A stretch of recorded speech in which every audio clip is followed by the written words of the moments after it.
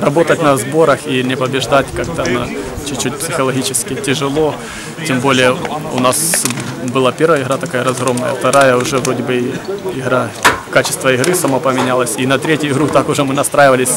Нам нужна была победа для уверенности в своих силах. В принципе, я думаю, тренерский состав должен быть остаться довольным нашей и качеством игры, и тем, что победили. Как для защитника скажу, надежнее мы сыграли в обороне, там за исключением пропущенного гола практически у нас и не было опасных моментов да, у наших ворот. Не давали бить сопернику. Это радует уже. А что еще получилось, забили, забили два гола, да, что до этого не могли забить. Ну, в принципе, я думаю, установка та, которую давал нам тренер, мы ее выполнили. Я думаю, и мы остались довольны, и тренера тоже. Конечно, хочется болельщикам передать огромный привет, чтобы они знали, что мы работаем и стараемся здесь каждую тренировку для того, чтобы в чемпионате их радовать и побеждать.